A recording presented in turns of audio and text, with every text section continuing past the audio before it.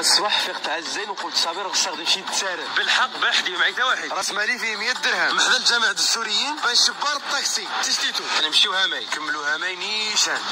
قلت مع من هذا الجروي اللي في البارتشيني حنا دابا كاينين في حنفطة. حنفطة اللي كتعتبر من أقدم المقاهي اللي كاينين في طنجة. اللي يرجع التاريخ ديالها لاواخر الخمسينات هي الصراحة الله قبل ما تكون حنفطة كان هنا واحد البلاصة كان على شكل درياض.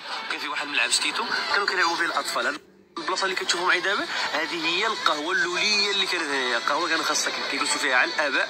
اخرين يجيو يلعبوا الكرة ويبقى يتفرج فيه. مع المدة تطور الشغل ما بقاش هنا ملعب بقات قهوة. باش تشهرت القهوة في الأول تشهرت أنه كانوا كيجلسوا فيها الآليين والموسيقيين. طنجة.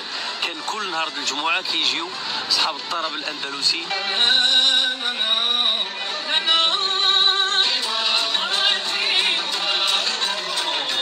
كيجيو الناس يتموسقوا ويتفرجوا مع الأسف هادشي ما بقاش هادشي ماشي هو ينقارض السبب مجهول.